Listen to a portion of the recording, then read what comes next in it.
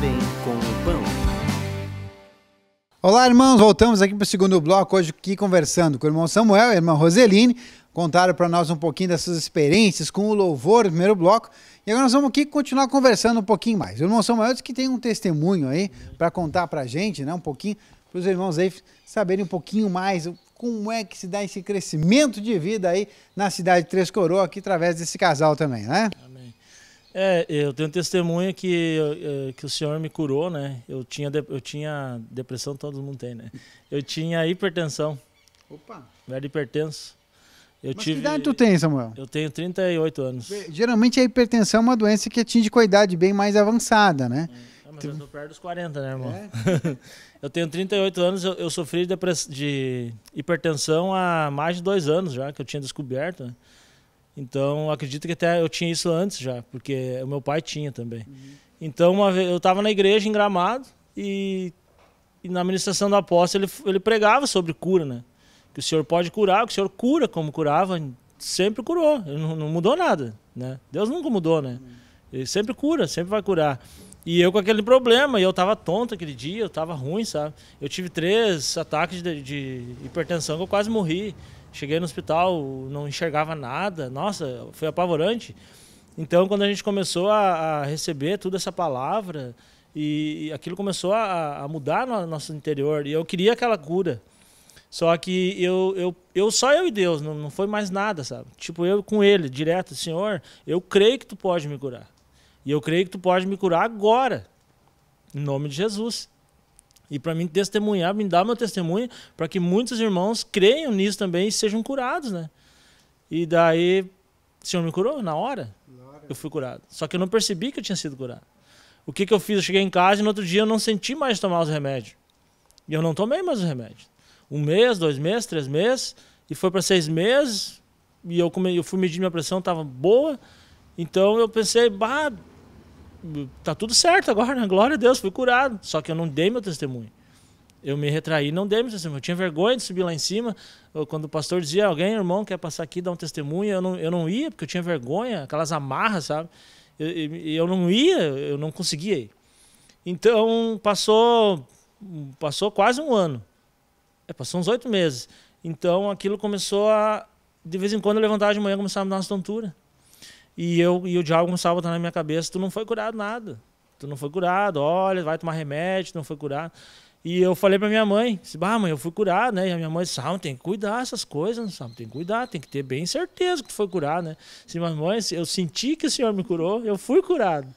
Então eu parei de tomar remédio mesmo, né? Só que daí começou essas coisas na minha cabeça, mas por que que era? Porque eu tinha que dar o testemunho. O senhor já falava comigo, vai dar teu testemunho. E um dia em Gramado, eu comecei a sentir essas coisas e eu ia medir minha pressão, não tinha nada. Tá tudo certo, medi a semana inteira, tava tudo certo. E assim, Senhor, eu creio, eu, eu creio na tua cura e já nada vai mudar isso. Amém. Fui para a igreja em Gramado. O pastor Paulo né, falou lá, irmão, tem um testemunho, papai, e ele começou a me olhar. E, eu, e o senhor, quando ele começou a me olhar, o senhor falou assim: é hoje. Eu disse, Senhor, se for para mim dar meu testemunho. Hoje ele vai me chamar. Na hora, sim, amém, irmãos, amém, mãe. O irmão Samuel pode passar aqui, dar um testemunho, dar uma palavra. Eu disse, glória a Deus, subi lá em cima e dei meu testemunho. E eu creio que esse testemunho que eu dei deu uma bastante esperança para as pessoas que não estão crendo na, na cura, que Jesus cura. E a hipertensão é uma das doenças que mais mata hoje no mundo. Então Jesus curou a minha hipertensão, eu não, eu não tenho mais hipertensão, entendeu? não tenho mais essa doença. Jesus curou meu pai também. Através da cura do meu pai que eu, eu comecei, ah, o Senhor curou meu pai, eu posso se curar. Meu pai tomava 40 comprimidos. Meu Deus do céu, eu, eu, eu tomava três vezes por dia, eu não quero mais isso para a minha vida. Então o Senhor me curou e glória a Deus, eu dei meu testemunho e me senti aliviado, sabe, com aquilo. Amém. Que benção. E nós temos um CD que fala sobre isso, é o CD Cura Divina. Então, para você aqui fortalecer essa ideia, que nem trouxe aqui o Samuel para vocês, olha, eu não sei, será que Deus cura mesmo? Eu, eu queria, mas eu não sei. Então, para fortalecer um pouquinho mais como isso acontece, o porquê acontece, você tem aqui o CD Cura Divina. Você vai ter ali textos bíblicos que vão ajudar você a fortalecer a sua fé que o Senhor pode fazer. Ele pode trazer cura divina, né? E nós temos, além do cura divina, nós temos um processo de cura interior, né? E nós temos aí dois, dois materiais para isso: o cura interior básico e o cura interior aprofundada.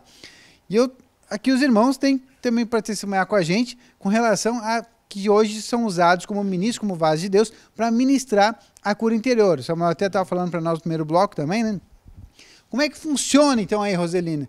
A ministrar hoje, poder ter essa possibilidade de conhecer o material e já essa, não vou dizer preocupação, mas essa responsabilidade, né? Além de eu conhecer, eu tenho que conhecer também para poder passar um pouquinho desse conhecimento que Deus tem acrescentado. Pois é, então, uh, que nem esse cura interior, a gente não, no caso, eu já tinha lido o livro, né?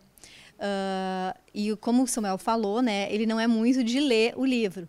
Então, uh, e a gente teve, teve uma, uma, uma, oportunidade, assim, com o nosso grupo familiar, que a gente tem uma ovelhinha que a gente está cuidando, né? Então, é que é a irmã Alessandra, uh, o esposo dela, ele não, ele não participa ainda, né? Porque a gente tem fé que ele, que ele venha com, com a gente, né? E a, a gente teve a oportunidade, então, de fazer uma, um discipulado na casa dela, a pedido dela, né? Então, esse discipulado a gente está fazendo cura interior com eles, né? Uh, então, uh, e está sendo muito tremendo, porque Deus está agindo muito assim na vida da, da irmã, uh, através dos grupos, do nosso grupo familiar, né?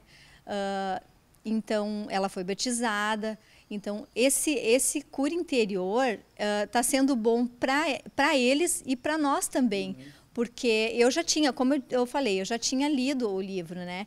Então, uh, e eu estou fazendo esse processo tudo de novo com o Samuel, né? Porque eu sempre dizia para ele, ai, pega, lê. Ele disse, ah, mas eu não gosto muito, né? Então, ele sempre foi muito das ministrações, sempre foi uh, nos, nas ministrações. E isso para ele, então, está sendo muito bom também, porque ele está ele tá conseguindo uh, administrar isso, né? Então isso é uma essa foi uma barreira que se rompeu, né?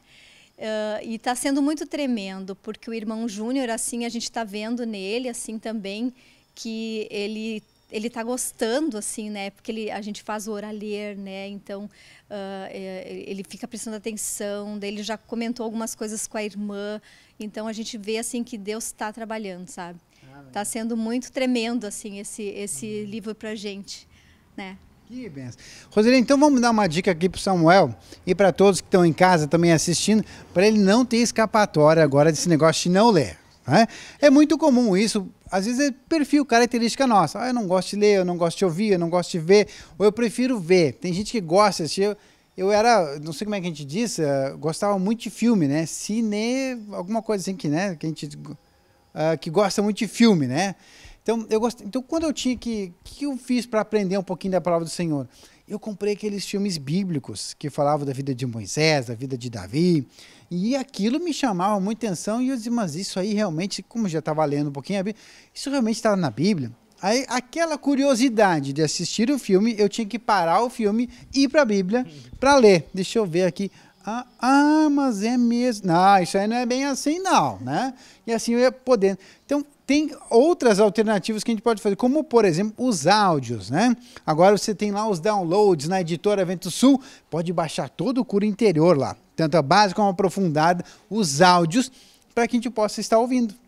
Então, para quem não gosta muito de ler, eu não gosto de ler, está sendo uma barreira, vamos quebrar essa barreira. Vamos para os áudios, né? Ou então para os vídeos, que também tem esse material em DVD, né? Que está lá para ser baixado também os áudios, que hoje você baixa na editora Vendo Sul. Então pode baixar, aqui com a dica já para o Samuel, né, Rosilina? Dá aqui a dica, e para o pessoal que está aí ouvindo, vai lá na editora Vendo Sul, entra nos downloads, baixa a administração, aí vai para o trabalho, põe aqui o fone de ouvido ou vai andar de carro, né? Tá lá o pendrive, tá lá o, o, o, o CDzinho, né? Como a gente diz, o, o pendrive e o cartão. Tem o cartãozinho agora também, né? Tem muitos aí áudios de carro que já tem o cartãozinho de memória. Põe lá, pronto, começa a ouvir e aí já é ministrado, né? Então tem o livro para quem gosta de ler, tem o áudio para quem gosta de ouvir e tem o vídeo para quem gosta de ver e ouvir. Então aproveita aí, quebra a barreira, viu Samuel? Pegou a dica certo agora para poder tá ouvindo um pouquinho mais da cura interior também aí, né? E a irmã Roseli, Roseline também falou pra gente do esposo e modelação, né? Nós estávamos aqui nos bastidores, conversando um pouquinho, aí eu li o esposo e modelação. Ah, então vamos botar agora aqui a irmã Roseline aqui na frigideira para fritar aqui, para falar um pouquinho com a gente sobre o esposo e modelação. Geralmente a mulherada não gosta muito de falar desse livro, né? Que tem algumas coisas que para para a velha natureza, né, para a antiga criatura que estava ali, não gostava muito de saber de muitos assuntos. A irmã Roseline compartilha um pouquinho com a gente aí sobre esse material, Roseline. É verdade. Uh, esse livro ele foi muito tremendo, porque uh, a primeira pessoa que leu o livro foi o presbítero Marcelo, né? Então ele disse, uh, eu nunca esqueço que for, eles iam muito assim, a gente a gente se, a gente se conhece muito tempo, né? Então eles além de ser os nossos pastores, né? eles são irmãos, no caso, né? São como pessoa da família mesmo, né? Porque a gente a gente ia na casa deles, ele ia na, eles iam vinham na nossa casa. Então a gente teve muita muita uh, muito afeto, muito encontro mesmo, né? Então ele quando ele começou a ler o livro, ele uh, ele comentou, né? que ele estava lendo e coisa e tal. E daí eu sempre dizia para o Samuel que o primeiro livro que eu ia ler era o Esposa e Modelação, né? Mas eu achava que o esposa e modelação era só para as mulheres, né? Mas não, é para os homens também, né? E, e, ele começou a ler e a gente estava compartilhando, uh, a gente estava tomando café, né? A gente estava tomando um café juntos e ele começou a, ele disse assim, bah, tô lendo esse livro, daí ele começou a ler uma, um, né, umas umas passagens e coisas.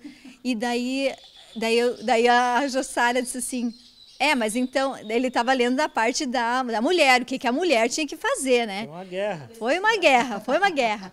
Ah, é, e daí, as, a, no caso, as cinco necessidades que, que, a, que o homem tinha que, né, que tinha que mudar e cinco necessidades da mulher, né? E ele começou a ler, começou a ler, né? Daí eu disse, eu disse tá, mas espera aí, mas daí isso aí é só para as mulheres, né? Não tem para os homens isso também, não? Mas calma, eu não cheguei lá ainda, né? Então foi o primeiro livro que eu, que eu até na verdade eu fui, eu, eu ganhei esse livro, né, de presente da irmã Jussara e eu comecei a ler. Foi muito tremendo, assim, porque para mim eu sempre fui muito mandona então, lá em casa, quem mandava era eu. Coitado do, do, irmão Samuel, né? Eu era muito mandona, em tudo, em tudo, assim. Quem dava a primeira palavra lá era eu, a última palavra era eu, né? E, e o livro, para mim, foi, assim, tremendo, porque eu comecei a, a ler e no começo a gente não vê que a gente vai mudando, né? Mas vai indo, vai indo, vai indo até o final que tu hoje eu penso assim, poxa, foi muito tremendo para mim, porque eu mudei muitas coisas, muitas coisas, né?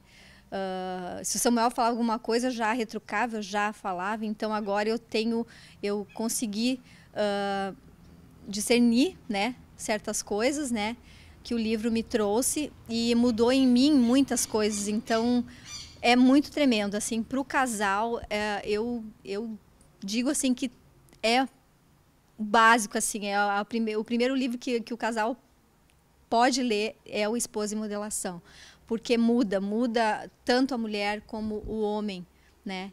Então, na relação também, porque a gente, a, a gente, e é coisas, como eu falei antes, né, as coisas da carne, né, que, que no fundo assim a gente quer, quer quer mandar quer fazer as coisas mas a gente não não, não, não pensa nas coisas do espírito né? Então o esposa de modelação para mim foi foi o livro assim que mudou a minha vida sabe? Claro né entre outros que a gente tem mas esse assim mudou para mim como eu era muito mandona então foi o, o que foi foi muito bom para mim sabe? Então e, ó, e nós vamos dar uma dica aí também, Samuel. Vamos aproveitar, vamos dar uma dica. Já que demos uma dica pro Samuel, né? Vamos agora dar uma dica, então, aqui Roseline. A Roseline disse que era muito mandona, assim, né? No casal e tal. E ela que agora com o esposo de modelação aprendeu. Vamos botar uma pá de cal nisso, então, em cima, né? Vamos indicar pra ela o Pânico na Areia, né? O Pânico na Areia, um material maravilhoso. Deixa eu ver se tá aqui o Pânico na Areia, que fala sobre esse espírito de uh, que a gente tem uma ilustração sobre uma mulher chamada Jezabel na Bíblia, que fazia o quê? Manipulava a autoridade para que a vontade dela fosse estabelecida, né? Então, tá lá. Então, uma, um outro material, então, aqui, para a gente fazer essa troca, né, Samuel? Ó, tá aqui, ó, o livro Pânico na Areia, né? Que para a gente poder também estar tá aqui sendo ministrado para a gente. Já que eu e a Roseline demos uma dica para o Samuel, agora eu e o Samuel vamos dar dica para Roseline, né? No próximo bloco vocês dois dão uma dica de livro para mim, então, e aí fica tudo kit, né? Tudo certo aí, tudo certinho. Gente, estamos aqui conversando com a Roseline e com o Samuel e nós vamos fazer um intervalo e voltamos já já.